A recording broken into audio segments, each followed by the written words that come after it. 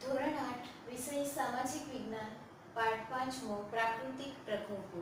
અગાઉ જે છે એ આપણે ભૂકંપ, સુનામી, જ્વાળામુખી પૂર જેવા પ્રાકૃતિક પ્રકોપો વિશે વાત કરી ભૂકંપ યાની કે પૃથ્વી સપાટીનો જે અમુક વિસ્તાર, કોઈ પૃથ્વીની અંદરની જે હવાના દબાણના કારણે ધરતી જે છે એ ધ્રુજી જાય.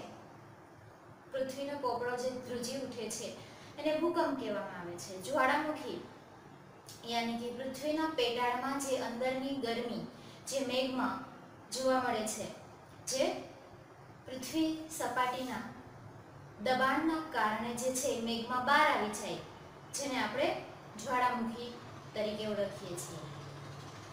પૂર યાની કે જરૂર કરતાં વધારે પડતો વરસાદ આવે અને ઉપરવાસના અથવા તો ઉપરવાસના વિસ્તારમાં વધારે પડતો વરસાદ હોય અને અચાનક જ નદીઓના પ્રવાહમાં ધસમસતા જે પાણીનો પ્રવાહ છે એ વહે છે, એને પૂર તરીકે ઓળખવામાં આવે છે.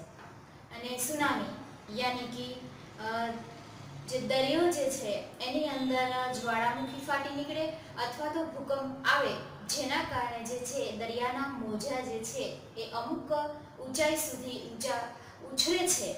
એને સુનામી એટલે કે ઊંચા ઉછળે છે અને એને પાણી જે છે બહાર નીકળી જાય છે. એને સુનામી તરીકે ઓળખવામાં આવે છે.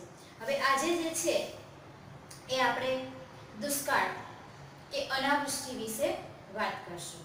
હવે દુષ્કાળ યાની કે વરસાદ ન પડવો અનાવૃષ્ટિ જેને કહેવાય કે ભાઈ સાવ વરસ છે એ કોરું જાય અનાવૃષ્ટિ અને અતિવૃષ્ટિ.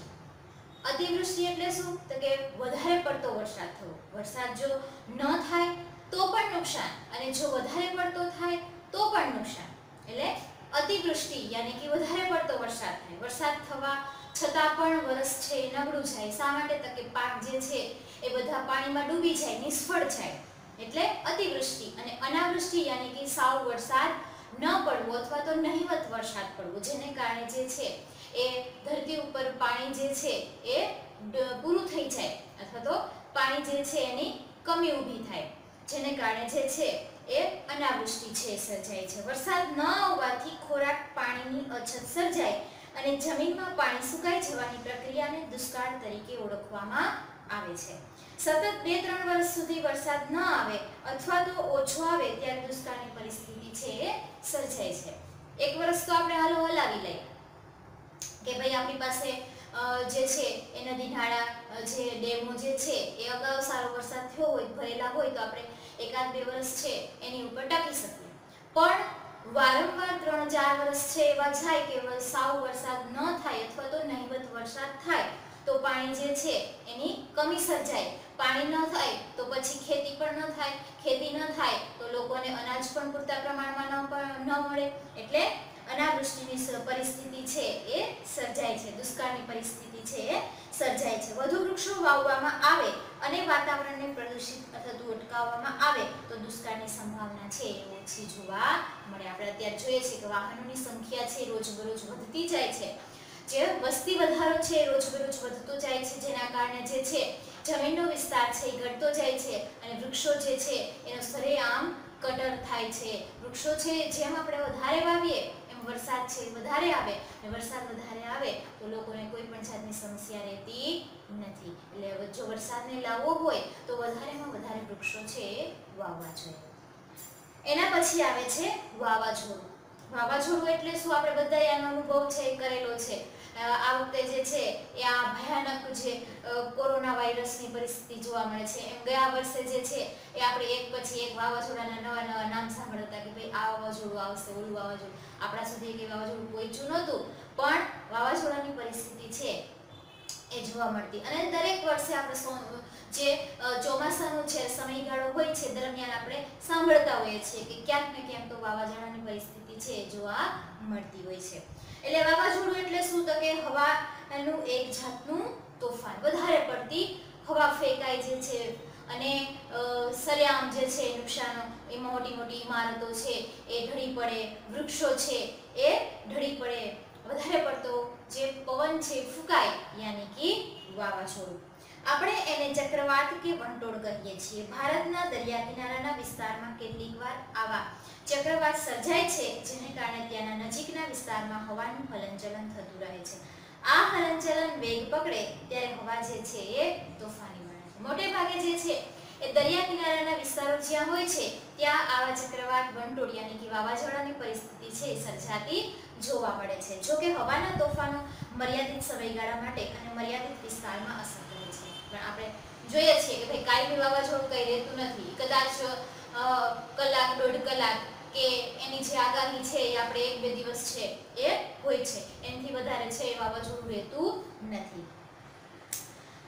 આવા વાવાઝોડા જે છે, હરિકેન, ટોર્નેડો વંટોળ વગેરે નામોથી ઓળખાય છે. વાવાઝોડા જે છે એને આપણે જોયું કે નામ આપવામાં આવે છે અલગ અલગ તો અહીંયા જે છે અમુક અગાઉ જે વાવાઝોડા થઈ ગયા છે અને નામ આપ્યા છે, એની વાત કરવામાં ગયા વર્ષે આપણે જોયું હતું કે વાયુ વાવાઝોડું જે છે એ આવતું આવતું આપણા સુધી રહી ગયું. હવે એના પછી વાવાઝોડા પછી આવે છે દાવાનળ. દાવાનળ શું છે? તો કે ભાઈ જંગલમાં અચાનક લાગતી આગ. જંગલમાં વૃક્ષોના પરસ્પર ઘર્ષણ અથવા આકાશમાંથી પડતી વીજળી થકી બે કે બીજા કોઈ કારણોસર આગ લાગે છે, જેને દાવાનળ કહે છે, જે જેનાથી વન્ય સંપત્તિને પારાવાર નુકસાન થાય છે. જેમાં હમણાં વાત કરી કે દાવાનળે શું છે? તો કે ભાઈ અમુક વૃક્ષોના ઘર્ષણના કારણે આગ લાગે અથવા તો જે વીજળીના ચમકારાના લીધે આગ લાગે અથવા તો બીજી કોઈ ઘટનાના કારણે જે છે, અચાનક જંગલમાં જે છે, સરેઆમ આગ છે, ફાટી નીકળે છે. જેના કારણે જે છે એ અન્ય જે ઘણા બધા મોટા પ્રમાણમાં જે જંગલો છે, એનો નાશ થતો હોય છે, એને દાવાનળ તરીકે ઓળખવામાં આવે છે. મોટે ભાગે આવા દાવાનળો જે છે એ જંગલોમાં અને ગરમીનું જ્યારે પ્રમાણ છે એ વધારે હોય, ત્યારે જે છે એ ફાટી નીકળતો જોવા મળે છે. એના પછી આવે છે ભૂસંકલન હવે ભૂસંકલન એ શું છે? તો કે ભૂસંકલન જે છે એ બે પ્રકારના છે. એના દ્રશ્ય જે છે એ બે પ્રકારે થતા જોવા મળે છે. કે ભારે વરસાદના કારણે અથવા તો ભૂકંપના કારણે પણ ભૂસંકલન છે એ થતું જોવા મળે છે. હવે કેટલીક વાર જે જમીન છે, એના ભૂમિ પ્રદેશો ઉપરનો ભાગ જે છે એ નીચેની તરફ ખસી જાય છે. અને ક્યારેક ભૂસંકલનના કારણે જે છે, ચોમાસામાં ઘણીવાર ભૂસંકલનના કારણે જે છે, એ કોંકણ રેલવે વ્યવહાર જે છે, આખું ખોરવાઈ જાય છે. શા માટે? તો હમણાં જ આપણે વાત કરી ભૂસંકલન એટલે શું? તો કે જમીન છે, એ ઉપર નીચે થઈ જાય જે રેલવેના પાટા હોય, એમાં જો જમીન છે ખસી જાય, તો શું થાય? તો કે ભાઈ રેલવેના પાટા જે છે તો એની આરે કંઈ ખસવાના નથી. એના કારણે જે છે, એ આખું જે છે, એ વાતાવરણ જે છે, એમાં પલટો આવી જાય છે. યાની કે ચોમાસા દરમિયાન જે છે, એ જમીન ઉપર નીચે થઈ જાય, થઈ ગઈ હોય, તો રેલવેનો આખો વ્યવહાર જે છે, એ ખોરવાઈ જતો જોવા મળે છે. હવે આ હતા આપણા પ્રાકૃતિક પ્રકોપો. આપણે જોયું ભૂકંપ, જ્વાળામુખી, દાવાનળ સુનામી, પૂર જેવા કે જે પ્રાકૃતિક જોવા મળે છે. પ્રકૃતિ રીતે અચાનક જ ઉત્પન્ન થાય છે ને સરેઆમ જે છે નુકસાન પહોંચાડી થોડીક વારમાં સાવ સમાઈ જાય છે. આ છે પ્રાકૃતિક પ્રકોપો. આપણા જે પાંચમું પાઠ છે પ્રાકૃતિક પ્રકોપો એ અહીંયા પૂરો થાય છે. આનો સ્વાધ્યાય જે છે એ આપણે પાકી નોટમાં લખવાનું રહેશે.